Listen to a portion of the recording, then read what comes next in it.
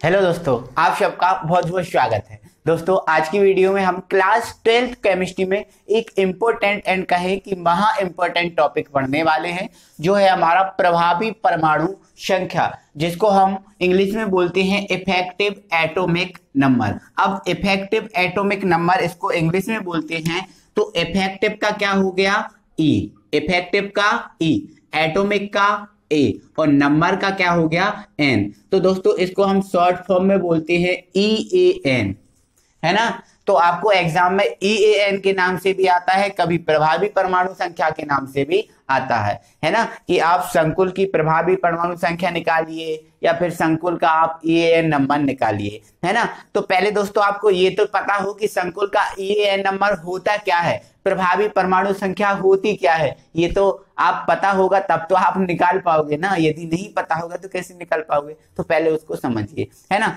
तो ये दोस्तों आपको पता है ये संकुल है। ये दोस्तों मैंने संकुल को पूरा अच्छे से घोल घोल के आपको पिला दिया है, समझा दिया है। है ना? तो यदि दोस्तों आपने नहीं समझा तो प्लेलिस्ट में इसकी वीडियो है। सभी वीडियो को आप अच्छे से समझिएगा, देखिएगा, आपको सब कुछ समझ में आ जाएगा। है ना? तो ये दोस्तों कोई संकुल यौगिक है। आपको पता है, इस संकुल यौगिक में ये तो आपको पता है, ये केंद्रीय धातु परमाणु होता है। क्या होता है? केंद्रीय धातु परमाणु। है ना? और दोस्तों, ये चीज़ आपको पता है कि ये जो है, वो होता है लिगेंड क्या होता है? लिगेंड है ना? और आपको दोस्तों ये भी पता है कि जो लिगेंड है, वो लिगेंड दो इलेक्ट्रॉन देकर बनता है। एक लिगेंड दो इलेक्ट्रॉन जब केंद्रीय धातु परमाणु को देता है, तब ये जाकर बनता है। है ना? तो अब हम समझ रहे हैं प्रभावी परमाणु संख्या। तो प्रभावी परमाणु संख्या क्या होती है दोस्तों? किसी संकुल में। क्या बोला मैंने? किसी संकुल में जो केंद्रीय धातु परमाणु होता है, इस केंद्रीय धातु परमाणु के पास उपस्थित इलेक्ट्रॉनों की संख्या। मैंने क्या बोला? किसी संकुल में, जैसे ये संकुल है तो इसकी बात करें तो इस संकुल में इस केंद्रीय धातु परमाणु के पास उपस्थित इलेक्ट्रॉनों की संख्या और लिगेंड द्वारा दिए गए इलेक्ट्रॉनों की संख्या। फिर से बोल रहा हूँ। क्या बोल रहा हूँ? इस केंद्रीय धातु के केंद्रीय धातु परमाणु के पास उपस्थित इलेक्ट्रॉनों की संख्या व लिगेंड द्वारा दिए गए इलेक्ट्रॉनों की संख्या का जो योग होता है, उस योग को हम बोलते हैं समन्वय सॉरी प्रभावी परमाणु संख्या। एक बार फिर से बोल रहा हूँ, केंद्रीय धातु परमाणु के पास उपस्थित इलेक्ट्रॉनों की संख्या व लिगेंड द्वारा दिए गए इलेक्ट्रॉनों की संख्या का जो योग होता है, उसे हम बोलते हैं प्रभावी परमाणु संख्या या फिर ई एन नंबर। अब केंद्रीय धातु परमाणु के पास कितनी संख्या होती है, ये भी तो हमें पता होना चाहिए। तो दोस्तों, जो केंद्रीय धातु परमाणु है, उसके पास उतनी ही संख्या होती है, जितना इसका परमाणु क्रमांक होता है। है ना? जैसे दोस्तों, ये आयरन है, इस आयरन का परमाणु क्रमांक कितना होता है? 26 है। तो इस आयरन के पास कितने इलेक्ट्रॉनों की संख्या होगी? 26 होगी। कितनी होगी? छब्बीस होगी। अब यदि दोस्तों, इस एफ़ ही पर टू प्लस चार्ज आ गया, कितना आ गया? टू प्लस चार्ज आ गया। तो देखो टू प्लस का मतलब होता है इसने दो इलेक्ट्रॉन दान कर दिए। दो इलेक्ट्रॉन दान कर दिए। तो 26 में से दो कम कर दो। तो कितने बचेंगे? 24 बचेंगे। तो इसकी जो इलेक्ट्रॉनों की संख्या है एफ़ टू प्लस पर कितनी है? चौबीस है। यदि एफ़ थ्री प्लस की बात कर ले कि एफ़ थ्री प्लस पर कितने इलेक्ट्रॉन है तो देखो एफ़ थ्री प्लस का मतलब क्या है? इसने तीन इलेक्ट्रॉन दान कर दिए, है ना? तो 26 में से तीन कम कर दो, कितने बचे? तेईस। मतलब इसके पास कितने इलेक्ट्रॉनों की संख्या है? तेईस है। तो ध्यान रखना दोस्तों, जितना इसका परमाणु क्रमांक होता है, उतनी ही इसके पास इलेक्ट्रॉनों की संख्या होती है, या परमाणुओं की संख्या होती है। समझ में आपको आ गया? ठीक है।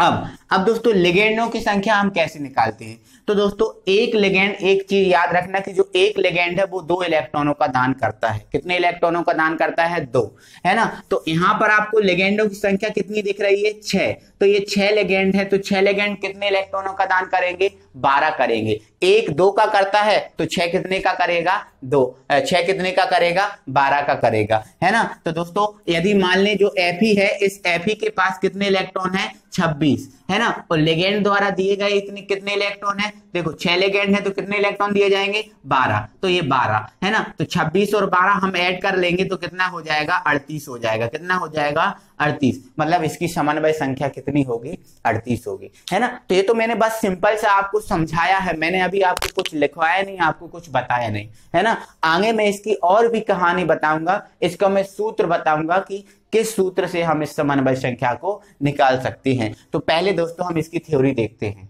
अब दोस्तों हम इसकी परिभाषा देखते हैं। दोस्तों जो मैंने समझाया, वही चीज़ यहाँ पर परिभाषा में आपको मिलेगी, है ना? क्या होगा?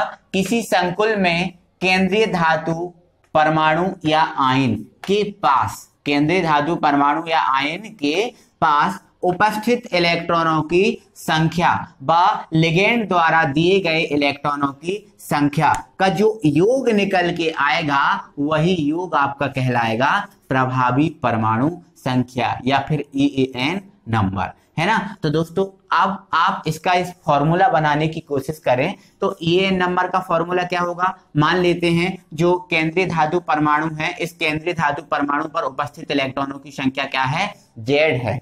है ना? और लिगेंड द्वारा दिए गए इलेक्ट्रॉनों की संख्या क्या है? बाय है। तो ये फॉर्मूला क्या हो जाएगा? जेड प्लस बाय हो जाएगा। बोलो, होगा क्या?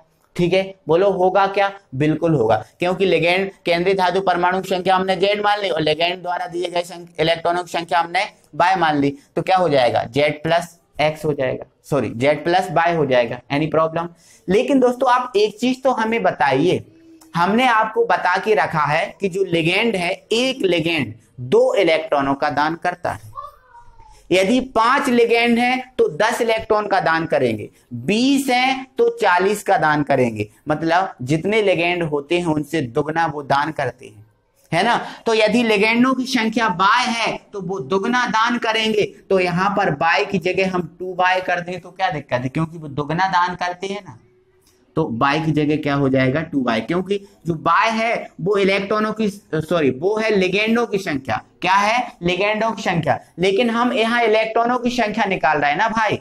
तो जितने लेगेंड हो होते हैं, उससे दुगना वो इलेक्ट्रॉन दान करते हैं। तो इसके लिए मैंने क्या कर दिया इसको? डबल, टू का डबल कर दिया। समझ में आपको आ रहा? ठीक है। अब और समझिए इधर। मान लो दोस्तों, ये जो एफ़ ही, इस एफ़ का परमाणु क्रमांक कितना है? छब्बीस एफ़ का परमाणु क्रमांक कितना है? 26 है। मतलब एफ़ के पास 26 इलेक्ट्रॉन हैं। कितने हैं? 26 इलेक्ट्रॉन हैं। लेकिन दोस्तों, आप ये बताओ, ये तो संकुल है। और संकुल में जब संकुल बनता है तो जो केंद्रीय धातु परमाणु होता है, वो आयन के रूप में होता है। इस रूप में तो आपको मिलेगा नहीं। वो किस रूप में मिलेगा आपको? आयन के रूप में। है ना? तो आयन के रूप में मिला तो मान लो हमें एफ़ टू प्लस के रूप में मिल गया। किसके रूप में मिल गया? टू प्लस के रूप में मिल गया। आप ये समझना जरा। तो इस टू प्लस का मतलब क्या है? जो एफ़ ही, उसने दो इलेक्ट्रॉन का क्या किया है? दान किया है। अब दो इलेक्ट्रॉन का दान किया है। एफ़ के पास टोटल 26 इलेक्ट्रॉन होते हैं। दो इलेक्ट्रॉन इसने दान कर दिए तो इसके पास टोटल कितने इलेक्ट्रॉन बचे? चौबीस बचे तो इस छब्बीस में से दो को मुझे घटाना पड़ेगा ना, जब तो मुझे चौबीस मिल पाएँगे। अब यदि हो सकता है यहाँ पर टू प्लस ना था, थ्री प्लस था तो इस थ्री प्लस का मतलब क्या है? इसने तीन इलेक्ट्रॉन दान किए। अब जब तीन इलेक्ट्रॉन दान किए तो टोटल कितने थे? छब्बीस। छब्बीस में से तीन घटा दो तो कितना बचा? तेईस बचा। तेईस बचा। मतलब दोस्तों, यदि आप परमाणु क्रमांक में से ऑक्सीकरण अवस्था को घटा दोगे तब केंद्रीय धातु परमाणु की टोटल जो इलेक्ट्रॉनों की संख्या है वो निकल कर आएगी। समझ में आपको आ रहा है? तो आप क्या करोगे दोस्तों? ये जो जेड है, केंद्रीय धातु परमाणु के इलेक्ट्रॉनों की संख्या, उसमें से आप ऑक्सीकरण अवस्था को घटाओगे। तब उस केंद्रीय धातु परमाणु की, पर उपस्थित इलेक्ट्रॉनों की संख्या टोटल मिलेगी। तो दोस्तों, जो ईएन है, इस ईएन का टोटल जो फॉर्मूला बनता है, वो फॉर्मूला बनता है Z minus X plus two by Z minus X plus two by जहाँ पर जो जेड होगा दोस्तों, केंद्रीय धातु परमाणु का परमाणु क्रमांक होगा। एक्स केंद्रीय धातु परमाणु की ऑक्सीकरण अवस्था होगी और जो बाय है, वो लेगेंडों की क्या होगी? संख्या। और लेगेंडों की संख्या का डबल क्या हो जाएगा? इलेक्ट्रॉनों की संख्या। तो हम तो इलेक्ट्रॉनों की संख्या पे बात कर रहे हैं तो ये नंबर का Z minus X plus two by ये फॉर्मूला होगा। आइए दोस्तों, अब हम प्रभावी परमाणु संख्या निकालते हैं। ई एन नंबर निकालते हैं किसी संकुल का, क्योंकि एग्ज़ाम में हमें संकुल दे देता है और संकुल का पूछला है, पूछता है कि इसका ई एन नंबर बताओ। तो आइए हम समझते हैं। तो ये हमारे पास कुछ संकुल हैं, इनके हमें ई एन नंबर निकालने हैं। तो सबसे पहले तो दोस्तों, जो ई ए एन नंबर होता है, इस ई ए एन नंबर का फॉर्मूला होता है Z minus X plus two Y. ये चीज़ आपको पता है, मैंने अब भी आपको बता दी, है ना? तो दोस्तों, हमें क्या क्या पता होना चाहिए? जो जेड है मतलब केंद्रीय धातु परमाणु का परमाणु क्रमांक पता होना चाहिए, केंद्रीय धातु परमाणु की ऑक्सीकरण अवस्था पता होना चाहिए, और लेगेंड हमें पता होना चाहिए कि लेगेंड कितने हैं, है ना? तो दोस्तों, हमें पता है, इसमें केंद्रीय धातु परमाणु क्या है? एफ़ ही है इसमें केंद्रीय धातु परमाणु सी यू है, और इसमें केंद्रीय धातु परमाणु क्या है? जी है। हमें इसमें समन्वय संख्या, इसकी sorry E A N number निकालना है। है ना? तो दोस्तों, ये तो चीज़ हमें पता चल गई। अब जो दोस्तों, जो एफ़ ही होता है, इस एफ़ ही का परमाणु क्रमांक होता है 26 जो सी होता है, इस सी का जो परमाणु क्रमांक होता है, वो होता है 29 और दोस्तों, जो एजी होता है, क्या होता है? एजी इस एजी का परमाणु क्रमांक होता है सैतालीस। कितना होता है? सैतालीस। ये तो हमें चीज़ें पता है, परमाणु क्रमांक हमें पता चल गया। अब हमें चाहिए क्या? ऑक्सीकरण अवस्था। है ना? तो आप दोस्तों, ऑक्सीकरण अवस्था इधर ही निकाल लो। ठीक है? चलो, इधर समझो आप जरा। है ना? देखो, हमें एफ़ ही की निकालनी है तो के की कितनी होती है? वन और इंटू क्या हो गया? फोर। एफ़ ही की क्या हो जाएगी? एक्स क्योंकि उसकी निकाल रहा है। और जो सी एन होता है सी एन की होती है माइनस वन और इंटू क्या हो जाएगा? छह, बराबर ज़ीरो तो चार एकम चार प्लस एक्स इसका इसमें मल्टीप्लाई करो माइनस छह, बराबर ज़ीरो है ना? तो इस छह में से चार को घटा दो तो क्या बचेगा? माइनस दो, बराबर ज़ीरो तो एक्स बराबर, इसको आप इस तरफ़ ले जाओगे तो दो. मतलब यहाँ से जो एफ़ e की ऑक्सीकरण अवस्था निकल के आई है, वो कितनी आई है? दो. इतना हमने काम कर है तो शॉर्ट में काम करोगे और हटा दोगे. है ना? दो निकल गई। और दोस्तों, यदि आपको बहुत ज़्यादा एक्सपीरियंस है तो इस ऑक्सीकरण अवस्था आप यही निकाल लोगे। कैसे? देखो, इसकी तो आपको निकालनी है। CN की कितनी होती है? एक। तो छह सी की कितनी हो जाएगी? छह। और ये के की कितनी होती है? एक। तो चार। के की कितनी हो जाएगी? चार। तो ये माइनस छह और ये प्लस के चार। तो छह में से चार घटा दो, कितने बचे? दो। तो इसकी ऑक्सीकरण अवस्था कितनी आ गई? दो। आपको एक्सपीरियंस ज़्यादा है तो आप ऐसे ही निकालो। ठीक है? अब आप फॉर्मूला अप्लाई करो। तो फॉर्मूला क्या होता है? ई ए एन का क्या होता है? Z minus X plus two Y तो देखो एफ़ ही का मतलब जे एफ़ ही का परमाणु क्रमांक होता है कितना? 26 तो ये 26 आ गया। अब x का, x मतलब ऑक्सीकरण अवस्था। तो ऑक्सीकरण अवस्था हमने अभी निकाल के आपको बताई कितनी है? दो। प्लस दो। अब बाय क्या है लेगेंडों की संख्या? तो लेगेंड कितनी है यहाँ पर? छह है। देखो सी एन कितनी है? छह है। तो इंटू छह। तो ये छब्बीस माइनस दो कितना हो गया? चौबीस। और छह दूनी कितना हो गया? बारह। तो छब्बीस, चौबीस और बारह जोड़ दो, कितना आ गया? छत्तीस। मतलब दोस्तों, जो के फोर एफ़ का हॉल सिक्स है, इसमें जो एफ़ का ए, एन नंबर है, वो कितना आया है? छत्तीस आया है। कितना आया? छत्तीस। अब आप इसको समझ लो। तो पहले आप इसकी ऑक्सीकरण अवस्था निकाल लो। है ना? तो दोस्तों, आपको ये तो चीज़ पता ही है कि जो NH3 है, वो उदासीन होता है और उदासीन की ऑक्सीजन अवस्था ज़ीरो होती है। तो ज़ीरो का चार में मल्टीप्लाई करेंगे तो पूरा हो जाएगा ज़ीरो और बराबर में केवल हमें क्या मिलेगा? टू प्लस क्या मिलेगा हमें? टू प्लस चाहो तो आप समझो। सीओ की निकालनी है तो एक्स एन एच थ्री की ज़ीरो इंटू चार। अब देखो, इस पर टू प्लस है तो बराबर में हम ज़ीरो तो नहीं लग सकते, क्योंकि इस पर टू प्लस है तो हम क्या लिखेंगे? टू तो एक्स प्लस ये तो ज़ीरो ही हो गया बराबर दो। मतलब इसकी ऑक्सीकरण अवस्था अभी कितनी निकल के आई है? दो। तो इसको याद रखना, है ना? फॉर्मूला हमारा क्या होता है? ई ए एन का क्या होता है? जेड माइनस एक्स प्लस का टू बाय। तो सी यू परमाणु क्रमांक कितना है? उनतीस। तो ये लिख दिया हमने उनतीस। ठीक है? अब minus X minus X minus X मतलब इसकी ऑक्सीकरण अवस्था कितनी आई थी दोस्तों? अभी निकाली हमने दो। प्लस टू अब बाय का मान कितना है दोस्तों? चार। क्योंकि लेगेंडो की संख्या कितनी है? चार है तो इंटू चार, है ना? तो उनतीस में से दो घटा दो, कितना बचा? सत्ताईस, और ये कितना हो गया? आठ। कितना हो गया? आठ। चार दूनी, आठ। तो सत्ताईस और आठ को आप जोड़ दो तो कितना आ जाएगा? पैंतीस। तो ई एन नंबर जो इसका निकल के आया है, वो कितना आया है? पैंतीस निकल के आया है। ठीक है?